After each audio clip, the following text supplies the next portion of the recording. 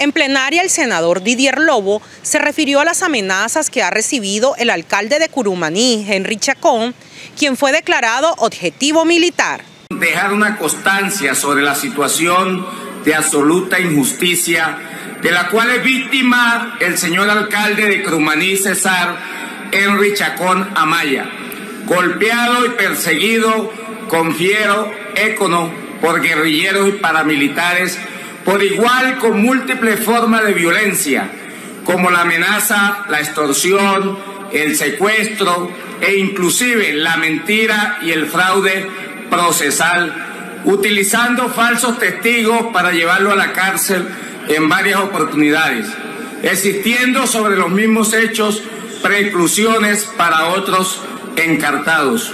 Sin embargo, a pesar de la calumnia, las amenazas y la violencia que se ha ejercido en su contra, este ciudadano y político cesarense ha gozado del afecto y la preferencia del pueblo de su municipio Crumaní, saliendo electo en tres ocasiones, lo que le ha ocasionado más acoso y persecución de parte de sus enemigos que no lo han logrado afectar el respeto y admiración que goza en su población.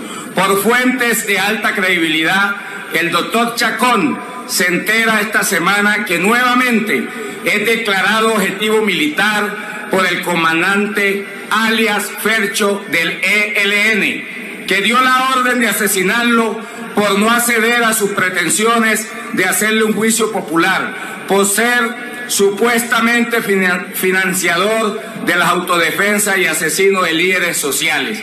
Exijo el respeto por la vida de este alcalde cesarense y se haga efectiva las garantías constitucionales de que está revestido como ciudadano y servidor público electo popularmente.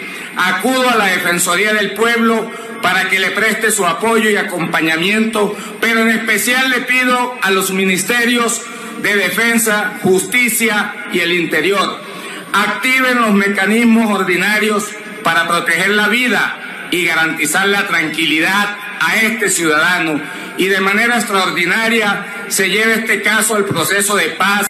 Fui declarado eh, eh, objetivo militar por parte de la, de la FARC en el año 2002, fui declarado objetivo militar por la autodefensa en el año 2001-2002, por haber demandado una lesión a la alcaldía del año Curumaní en el año 2001.